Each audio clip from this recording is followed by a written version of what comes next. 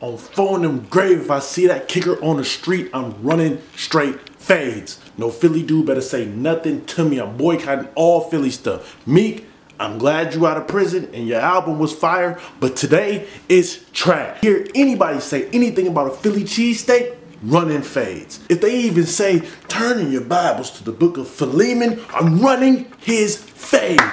Wow.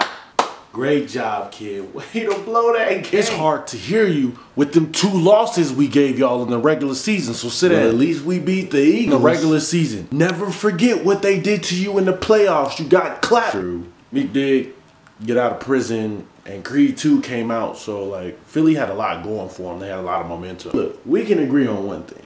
Both of our kickers is trash. Wow. I watched the game. That is rough.